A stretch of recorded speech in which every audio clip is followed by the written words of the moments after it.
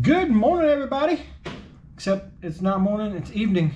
It's been a crazy busy day, as most of you guys know that watched my video yesterday. My back's been out, haven't been feeling real well, but today was a good day, productive day, and trying to get caught up on all the stuff I didn't feel like doing over the weekend.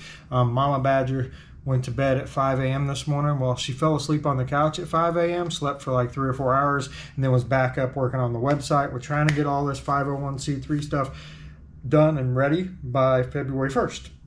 That's our goal. So um, we are jamming to get it all done. Today's video is going to be on frequently asked questions. So most of you guys know I'm kind of a fan of the Harley Davidson Fat Boy. I think I have four of them in this garage right now.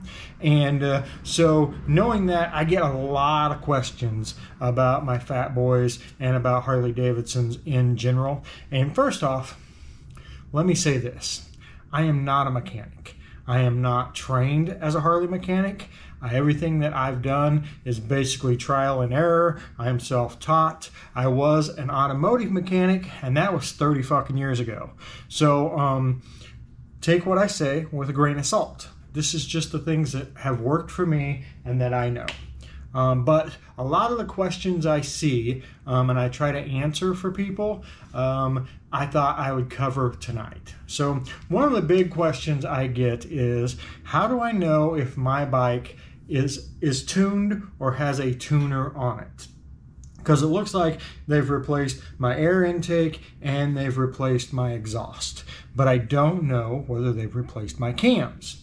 Well, honestly, the only true way to tell what cams have been put into your bike is to take the little cover off of the side and uh, pull that apart and take a look. Uh, I mean, if you're if you're experienced enough, you can probably listen to it and go, "Well, that's got a cam in it." You're still not going to know what cam's in it. Um, secondly, on these older, um, you know, early 2000s. I think it's like basically 2000 to like, I think it's 2007 when they changed the timing chain tensioners. Um, those were an issue. They basically had a, a, plastic shoe, and I did a video where I changed mine. I don't think I kept the plastic shoes though. But anyway, they have a plastic shoe um, that is spring loaded that holds tension on your timing chain.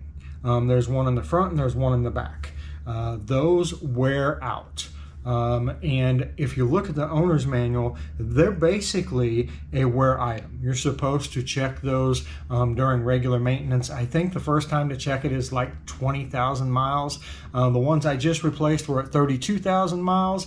Um, I've seen them bad at 20,000 miles. So that is a very important piece. If you own one of those year models, twin cam, um, and it doesn't matter which one because I've got the 103 and the 88, um, you have those shoes. And those shoes are very important to check because if they come apart, they can do a shit ton of damage inside your motor. Um, there have been many, many people that will tell you the story that they destroyed their motor because they didn't replace those little plastic shoes. So, very important, have those checked, have those changed on a regular basis if you don't want to change them all the time, so they make a Screaming Eagle kit uh, that lets you change it over to hydraulic.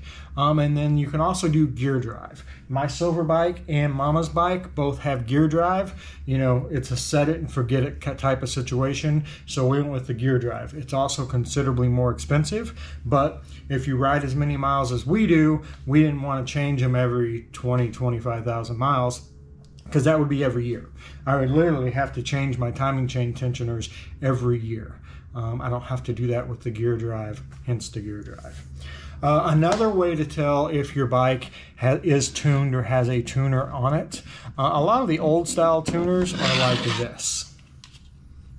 Cable, tuning box, and this stays in place on your bike. So this plugs into um, your computer and then this hangs out underneath your seat somewhere. Um, if you have one of these, then you do have a tuner. This is married to whatever bike it was plugged into. Um, if you do not have a box like that, the other possibility is what I currently use, and that is this. This is a tuner that plugs in, basically downloads the tune, and then you unplug it, and it doesn't stay on the bike. I like this way more than I like this because this gets in the way. There's not a whole lot of room under a fat boy seat anyway. So if you add that piece to it, just one more thing. I had issues with it getting smashed. I had issues with it getting wet. I had issues with it getting hot. Um, like I was riding through Naples and the bike just shut down. Let it cool down, ran for a while, shut down again. Took it to the shop. We moved it around, changed the airflow, and that helped, but it, it was just getting hot. So that is another way um, to tell about the tuner. Uh, a lot of times, fat boys don't have saddlebags on them, but a lot of times the tuner will come with the bike. Um, if the tuner doesn't, then you're basically screwed. You're to have to buy another tuner. Um, you can take it to a shop, have them tune it. Uh, that's fine. But if you ever want to change the tune, you got to go back to the shop, have them retune it, or you can get you one of these, and then there's all kinds of possibilities from tuning it yourself to having them build you a download and um, tuning it that way to an auto tune, which is what I did on Silver. Uh, basically, uh, I got the O2 sensors to plug into my exhaust, plug that in, and then I can do an auto tune on it. So there's a lot of different ways you can go about tuning your bike. Just depends on how hands-on you want to be um, or ha how hands-off you want to be.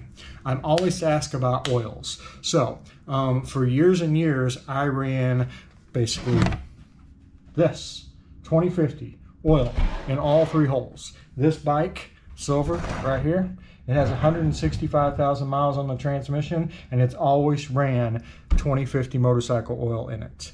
Um, the engine's the same way, um, and I did change um, the primary out. So they make primary fluid from AMSOIL, so I decided to switch it to prime to primary fluid. I honestly don't know if that's any better than the 2050 motor oil, but it was made for the primary, so I bought it and I put it in there. But I've ran 2050 for 100,000 miles with no issues. So either way, uh, but everybody's like, what is the best oil? Guys, they're all really similar. If you set them down under a microscope, they're, they're just all so super similar. So whatever you want to run um, whatever flavor you like, convenient, right? So what can you get your hands on easy? That's why I have AMSOIL because they ship it right to my house. Um, I don't have to go anywhere to get it. I just place my order online, it shows up at my front door, and I don't have to worry about it being in stock or, or any of that. That's why. It's a convenience thing. So whatever's convenient for you. Um, Tires. I get asked a lot about tires, guys. There are lots of great tires out there. Um, you really kind of have to get a feel for what works for you. I can tell you what works for me. I hate the Dunlops. I've had one come apart, one had cracks in it, and they wear out really fast. Um, the grip is good though. Um, Michelin Commander 2s. Uh, they last forever, but they have a center strip that is dual compound. It's a harder rubber, and I found on um, rain rain soaked roads that uh, I slid around a lot with those tires. I didn't like them. Personally, I like the Metzelers, the 888 or the Cruisetecs. That's what we have on all of our bikes. We get good mileage. It performs well in all the weather types, and uh, they're reasonably inexpensive. So, again, that's a personal preference. Buy a tire run it for a while, change up. Do that two or three times, figure out what tires fill and fit the best for you, and then stick with that tire. That's what I've done. Um, Dunlops, Michelin's, Avons, um, I've tried all of them uh, before I made my decision of what tire I actually liked. Because the truth of the matter is, there, if you ask the question on the internet, you're going to get a thousand different answers, and none of those answers are probably wrong um, because that is what that person has tried, believes, has seen, has heard. So you really have to make that decision for yourself. So go out, pick three or four different tires, and then when you replace them the next time, switch tire brands and then figure out what works for you. And you'll probably find that whatever tire works for you on that bike will probably continue to be your preferred tire brand on whatever bike that you run. Anyway, guys, that's just a couple of the questions. Uh, I've got a few more, so I'll do another video like this. Let me know if this was helpful at all. If it was not helpful, let me know, um, and uh, maybe I won't do another one. Anyway, guys, I hope you have a great night. We will see you tomorrow.